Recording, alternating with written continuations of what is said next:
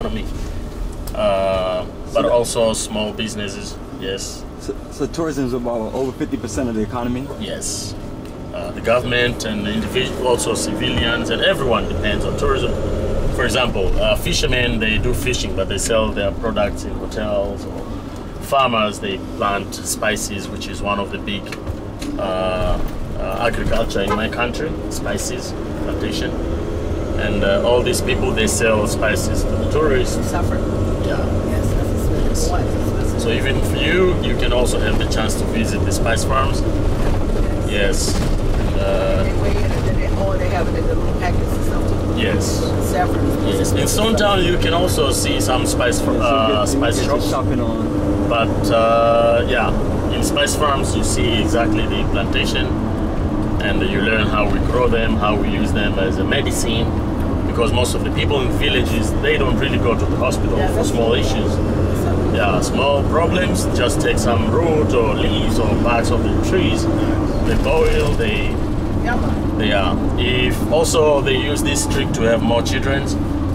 Yes, because here still uh, investing in children is one of the most important role in the community.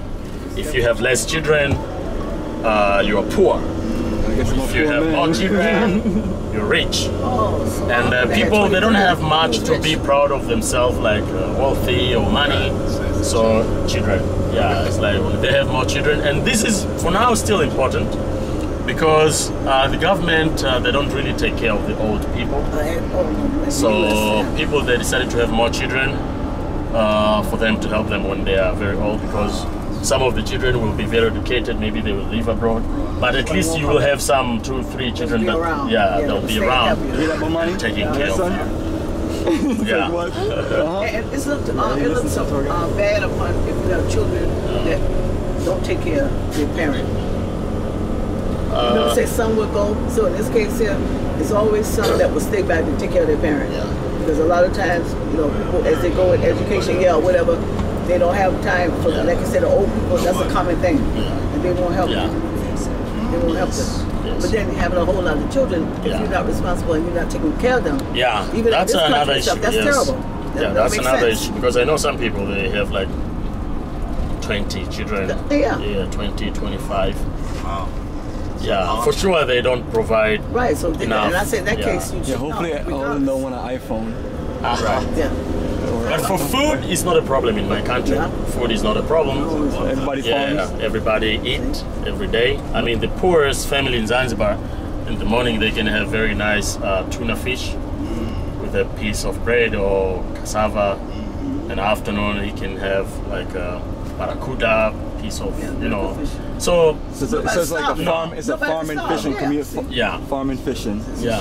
The problem here, the poverty in my country is more in materials. Like, Yeah, yeah, Yes. yeah. But we still live in uh, like a community kind of Yeah. Yeah, for example, if 10 houses around, one guy only has TV, all these people will go to this house and watch TV. Oh, nice. Yeah, yeah, I remember that. Like, they- they- yes. Uh, if, uh, if, if my family, they have wedding, one of my relative, it's not only for my family. Everybody in the neighborhood right. will be participating in any other way to help. Yes, uh, as well as everything. Like So everybody can have. That's the even family, we live in extended family. Yeah, So, for example, if I have uh, money to pay for my niece school fee, I will do that.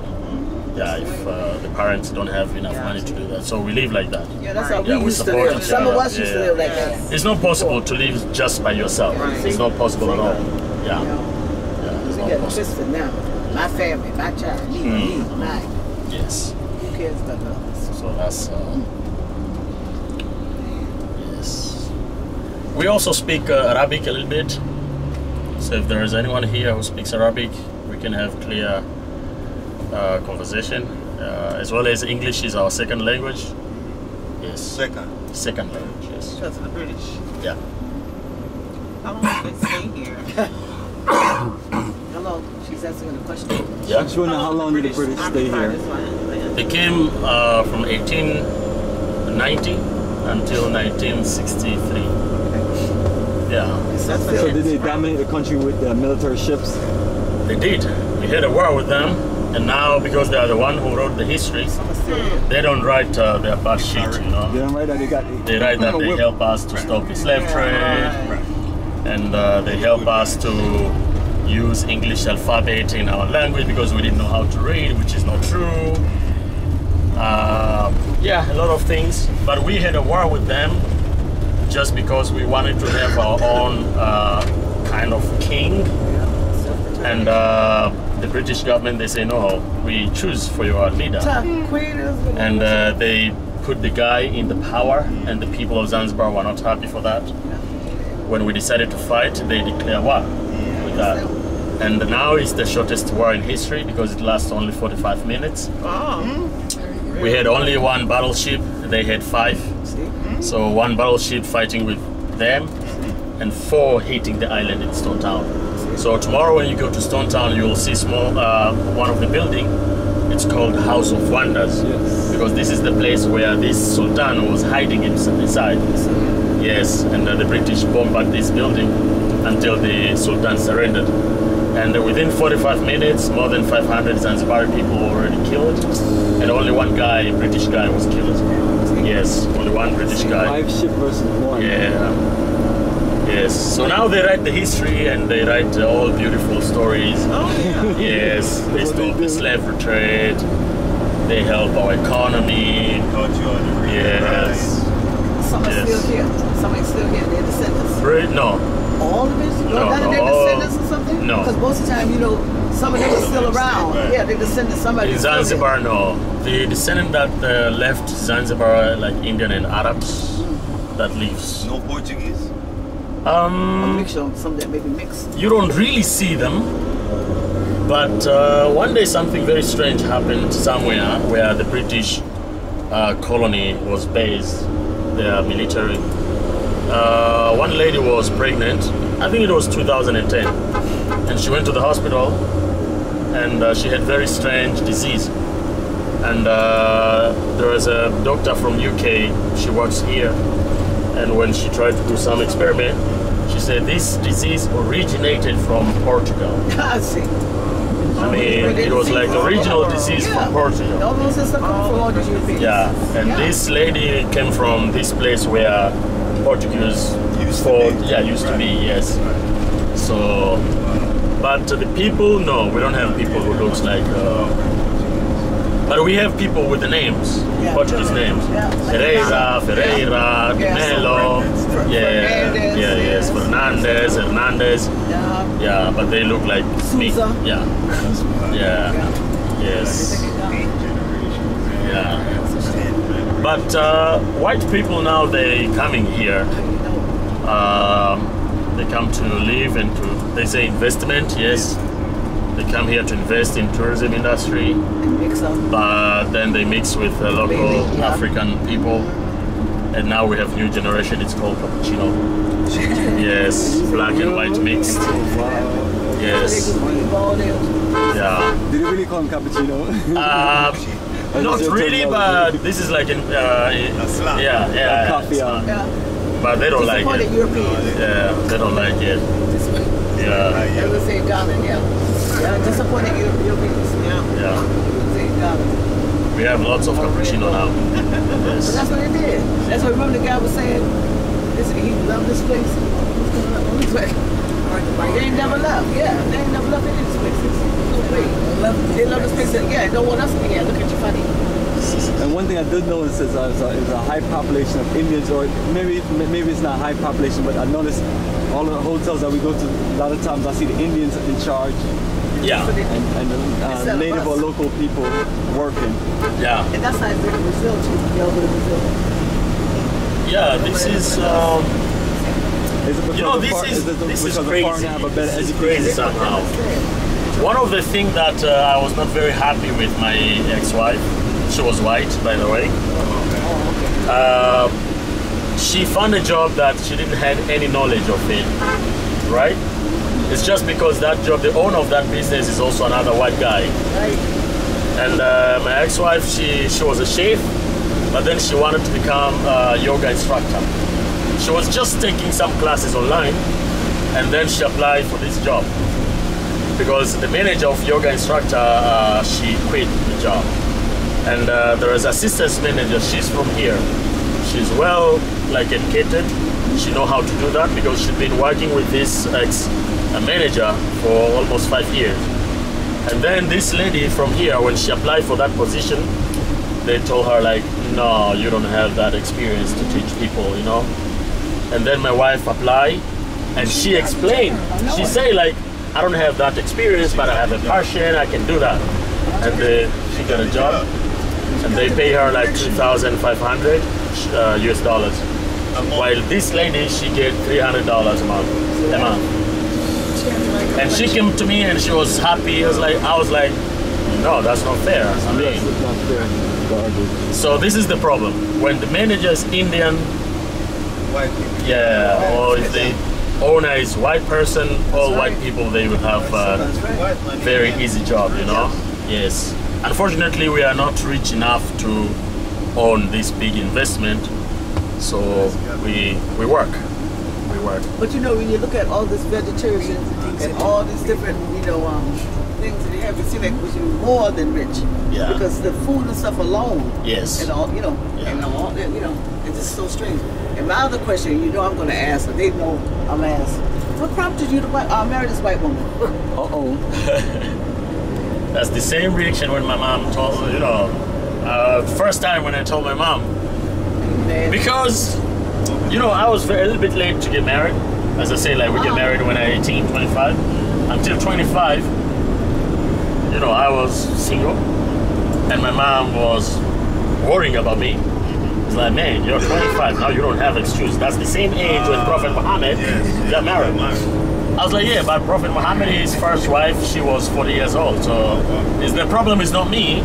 The problem is every time when I approach 40 years old woman, they say I'm too young for them. And my mom was like, no, you have to get married. When I was 28, my mom, she started crying. Because she felt like I was a gay. Right, right, I'm like, man, Mudrik, just tell me if you're a gay. right. I'm like, man, I'm not a gay. I just, Slow out. yeah. Just not ready to settle down. You're not ready to settle down. But excuse, why He's not were looking finished. for a 40 year old? Uh, no, it's uh, it's called Sunnah. Sunnah is like uh, the same way of life of Oh, Prophet for Muhammad. Oh, For Prophet ah, Muhammad. Yes, yes, yes. So if he did this, we want to do the same thing. So he get married when he was 25, but his wife was 40. Ah, I see.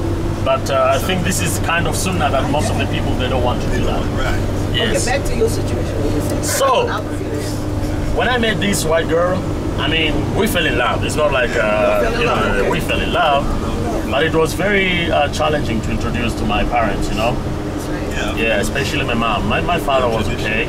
My mom, so it took uh, like every day thinking how I will approach my mom. And then finally I decided to approach my mom and say, Mom, I meet someone, she's very beautiful. She didn't say that, but in her mind I was like, oh, at least it's a, it's a girl, you know. Right. So I say she's very beautiful and I think I want to marry her very soon. And my mom was happy So she's and she go like, yeah yeah you know, like Arabs. Yeah. And I said, Mom, cool down. You need to have full information about That's this right. woman. okay, where she's from? And I said, she's from Spain. And my mom was confused a little bit. She was like, okay, which part of Tanzania Spain is located? I was like, Mom, Spain is in Europe. Oh, is she black? Yeah, some. Yeah. And I said, no, Mom, she, she's white. Oh, shit. And uh, no, it, it was a little bit uh, problem for her to accept it. And when I got divorced, my mom was like, Hey, I told you. hallelujah. Yeah, I told you. I was like, Mom, divorce is divorce. I mean, yeah. But did you ever meet the wife's family? And Yeah. if you did, how was the reaction as far as you know towards you and that marriage?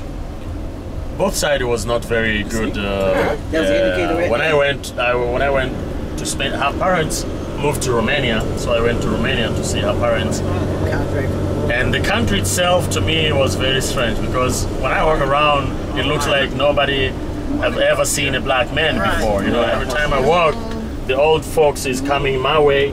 He see my, uh, he see me, he stop, and then he look. And I tell my aunt, why, why everybody stop when they see me? And they are probably this is their first time to see a black man. I was like, okay, so they don't know who I am. you know, so if they ask who I am, just tell them I'm Barack Obama because he's Yeah. also Yeah, they don't know who is Barack Obama. These people are fools. Yeah, So you met the family. yeah. And what happened with that one? The mother was not very happy. Yeah, you know that.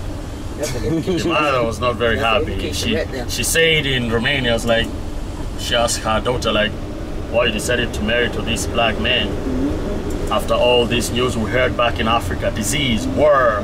Are you sure he's clean? Yeah. She's they're the ones spread. Yeah. It's clean. And then when she said like I was Muslim, her mother was like, Are you sure he's not one of the Taliban guy back in Afghanistan? I was like, Yeah, he's from Zanzibar, not Afghanistan. Yeah, you've Zanzibar. Yes, so it was just like that, but it's a life. Okay, how long Life were is about together? You two years. Three years. Two. Oh, two. Two Good years. luck with Did you that remarry? one. Huh? Did you remarry? Yeah. Ah, Now, so same who in the this fall. time? She was 14, same way? Or you married Now, which way this time? And I know like younger. Indians. Yeah, my, my wife now she's uh, she- she's from here. She's from here, local. Congratulations. Huh? Yeah, she's Oh, no, wait, make sure that. Because Yeah. you know, people from here, that Indians like the same. Right. Yeah. I know, I know nine times ten they marry them because they know how to marry out. Okay. Yeah, the marriage uh, to the um, Arabs and Africans is not a problem at all. I mean, we don't really see the big difference. But Indians, it's not possible. It's not possible at all. Not possible at all. Yeah. But my wife now, she's local. She's from here. Okay. Yes. She's, uh, time to go over there. Yeah. yeah. the snow. Okay. And my mom is happy now. uh, you go. Yeah. When I say, Mom, I want to marry this girl, she was very happy and she was like, I will pay for the wedding. Ah, that's right. I'm like, Mom, I didn't know that you have money. After all these years, you pay for my wedding. But the most interesting thing on the wedding, I didn't knew that my mom can twerk. I was like, Were you for real? stop doing that in front of me. I mean, all my friends were like, hey, my mom, your mom can twerk, man. Your mom can twerk. I was like, shut up.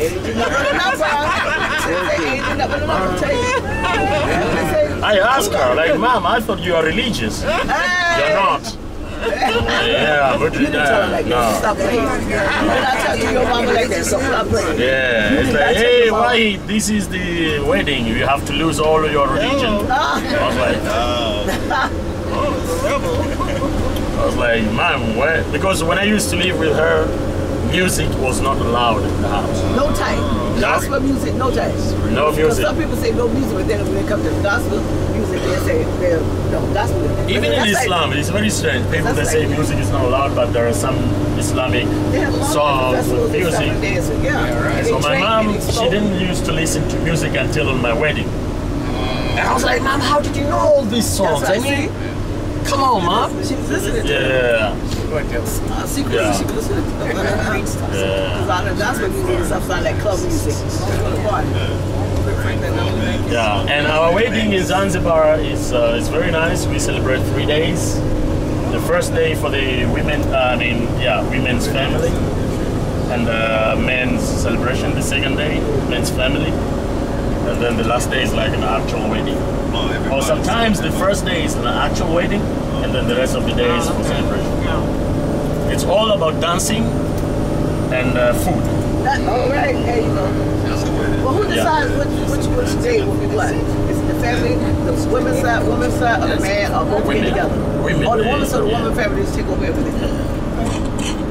Good luck with that. Good luck with that. So that's your current wife now. Uh huh. That's your current wife, present wife. Yeah. But she's not 40. But you, did you continue with the tradition we first started with, or it couldn't be continued because you got divorced? Or Yeah. you just You know, wanted somebody young. Well, I don't think your first wife was 40. Was she 40? She was young. Uh, He was she was 28, she 40? was she 40, was 40 something, right? yeah, she was. Uh, th- I was 29, and she was uh, 32, 32, Oh, 33. okay. Yeah. Yeah, I can see she was she in that. My wife now she's 23, Nice. and I am 33. Okay. Three threes. And uh, yeah,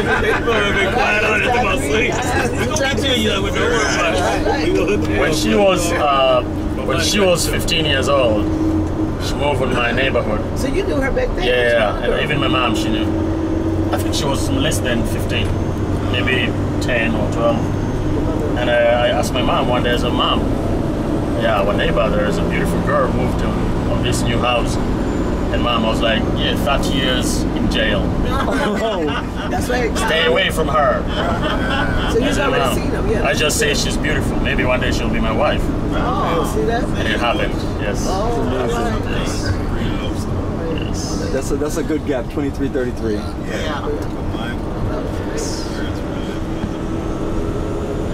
Yes, sir. Yes, yes. But yes, brother, man. Appreciate this, man. The, the time is gone, but I'm sure we're probably like 15 minutes on the resort, right? So tomorrow you have a Stone Town tour. Uh, yes, Stone Town tour. Uh, pickup time is at 8. Or you want to be picked up a little bit late. Yeah, let me look at the schedule. Good luck with that. Oh, we should be good because uh, we don't have anything going on today. Okay. But uh, what I would say, um, is we do need to Stone Town tour as long, so you guys can uh, come get us close to like 8:30. Okay. No problem. It's a private tour, so. And our goal is to leave no later than nine. Ah, okay. And if we can, So 8.30. 8:30 be perfect if you can get here. I'm going to make sure we get everybody on the bus by nine so you can leave.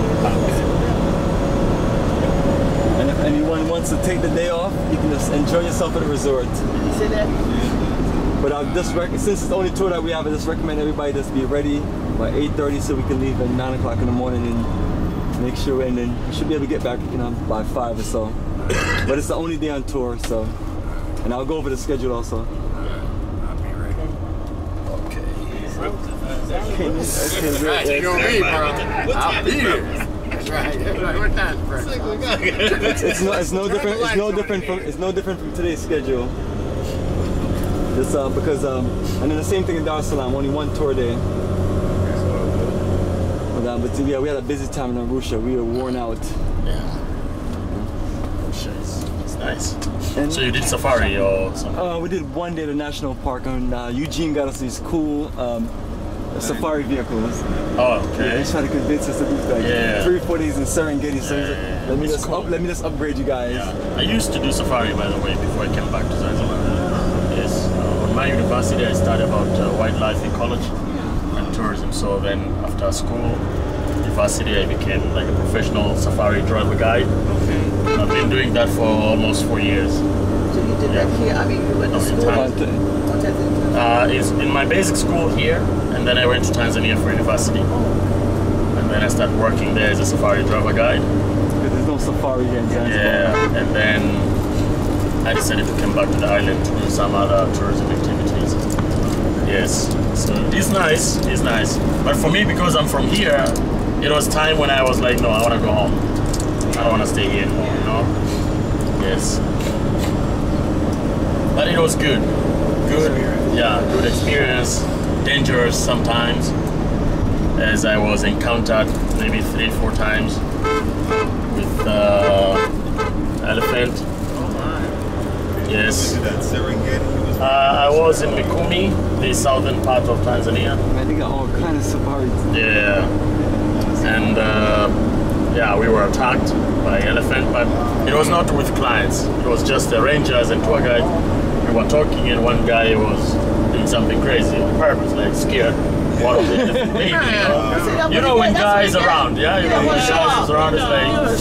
It's like, hey guys, it's been a while. You did the exercises, huh? You want to do some exercises? Like, yeah, yeah. And then he went to scare an elephant baby, Right, oh, and we start hearing these sounds. You? The mama came your way. Yeah, and uh, everybody took. You know, I was in the bathroom. I didn't know that I was in bathroom when I was hiding myself. You know, I just ran to the bathroom. I didn't knock. I just, you know. But uh, with clients, uh, we had like a lion encounter with tourists, and I was so scared. You know, I was really. I think I've never get scared in my life than that day because we were just a few meters in front of the uh, uh, Lion Pride. You know? Them things are And fast. reason, yeah, you know, we went to the hippo pool, and from hippo pool we take, uh, yeah, we're getting off the vehicle, take some picture explaining the footprint of elephant and some other animals, and then when I look back, I saw like two lion cubs. They wanted to come to where we, you know, to, to drink water, you know. And I knew that uh, lion cubs don't walk alone; they walk with their pride. Yes. So I tell my clients like, we have to go to the vehicle right now. You know, listen. And uh, you know, sometimes white people, when they see dangerous stupid- situations, They go right they to- don't know what dangerous They go situation is like, you know. And I told them like we have to go because now we have a dangerous situation. There's a lion cubs over there, There you go. and their pride, their family will come back, will come here any, you know. And you know the white people, they go like, "Oh my God, it's so cute." I was like, "Man, I'm from here. I know they are not cute." That monkey fixed that woman. Get away with I mean, it's, it's, it's my responsibility to take to make sure that everybody's in vehicle. I think I will be sure that I will be in the vehicle watching you, I and I will take all your expensive cameras and I say, no, I mean, yeah. I told them like, yeah, we have to go. Oh no, they're so Yeah. cute. See? I yeah, they're so cute, but we have to be in the vehicle Right. right now.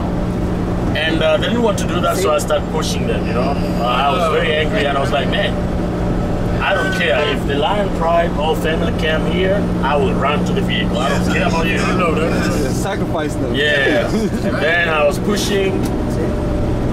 Before we get to the vehicle, the whole pride came up with a lot of blood in their mouth. See that?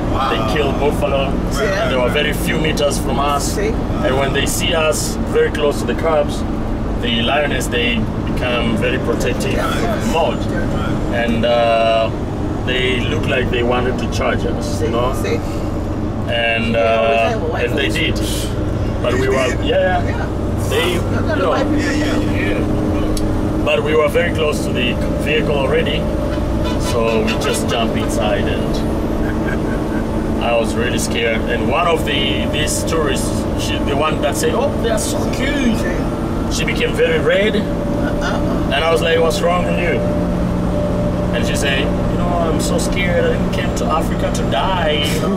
I just came here to enjoy. You know, I was about to die. I was like, told you, man." You think they look like a pet? No, I'm from Africa. I know about these animals. They- Yeah, That's the only time a situation like that happened because of them. That's the only time. yeah, ignorance. I mean, it Yeah, feels like they can control all these That's why I animals, and no, I mean, no way, no way. That's why every time when I go to safari with my African tourists, is different experience. You Yeah, know? of course, that's what how that Yeah. I remember I went to the safari with uh, Nigerian tourists, but they lived in UK. They had very strong uh, British accent, and um, we went to safari. We didn't talk that much. I tried to ask her like where you from and blah blah blah. And they "We- we're from UK with very strong British accent. But then when British the British. yeah, when we saw the lion for the first time, they get so scared. And uh, somehow the lion they they had also cubs. And uh, our car was very close. So the mother tried to push these cubs and uh, behind the bush. And you know they make some sounds when they communication to each other. And uh, somehow the lioness became a little bit aggressive for the cubs. So the lioness stood up and started you know pushing the cubs that's the time when my clients they were so scared Wow. that they lost their British accent. Oh wow. This is wow. Yeah. This is also great. The husband, the husband was like, before he was like, yeah, you know what, you know, like the British people, yeah, yeah. How long we'll go back to hotel? We want to have some tea, That's how we do let it. me eat. Yeah, that's And then after this situation, this guy was like, my brother, My wife asked you to move this car. Why you don't move this car? Move this car right now, my brother. Yeah. I was like, am I talking to another person? I mean, yeah. So uh, yeah, black people, we know how danger looks like. I mean, Yeah, every time I, we've Yeah. been to the national park, I mean, we're the only black people there. yeah. okay. And we're trying to, you know, I'm open to it, but it's like, you know, that's, I don't know how dangerous it is. I Hmm. Don't want to be responsible for anybody's lives. Yeah, it's true. But uh, It's I guess as long as you stay in the vehicle, you're good, right? Yeah, yeah. When you're in vehicle, yeah, yeah. This is very normal. You know, when you go to the picnic site, That's- you take yeah. off the vehicle, That and every time when I have like uh, some other tourists, they're like, "Oh, this place is cute. This is beautiful, Baba." When I go with African tourists, uh, it's safe here. yeah, that's what we were, we were wondering the same thing too when we got out. We, we were wondering. It's safe here. Are you sure there is no lion around? How sure you are? How sure you are? Yeah, that's. When you went Nigerians, it was just those two Nigerians, or you had a whole group of blacks, or they were those two and then some whites. no, just two. Oh, just two? Yeah, just two. Okay, so you have other groups or something where we had like two or three blacks. We know the majority of time is always whites, but have you encountered other blacks, you know, regardless of where they're coming from, going to safaris? Mm-hmm. Have you encountered other like Yeah, yeah, I have. And How often do uh, you see a little group like us, like all of us? How- Once in a while, how often do you have a group like A us? group of black uh, folks. Yeah, like um, black people. not so All many, black. not so many, uh, like black people doing kind of these things here. But uh, when they come here, it's cool. I mean, Rare. yeah, it's cool. Very talkative. Uh, you're easily connected to these people. Uh, one day I had a situation that was for me it was not very good. You know Gabrielle Union? Yes. Oh, don't we? Yeah, with uh, with her husband. Ah, They came here for the birthday. And Dwayne, wait, wait. Yeah, they came here for, for her birthday, and I was uh, the tour guide for this uh, for this I don't group. think I saw a picture of that. And uh, Gabrielle, she was in the vehicle with two white guys. I think they look like FBI. I don't know, but just the guys that they don't talk. They just. Right. Yeah, yeah. Secret Yeah. Service and security. And Gabrielle Union, she asked me a question, and I was confused. She asked me like how I see black people, and I was like, well, I don't know. I mean, I see people. When I see black people, I see people like me.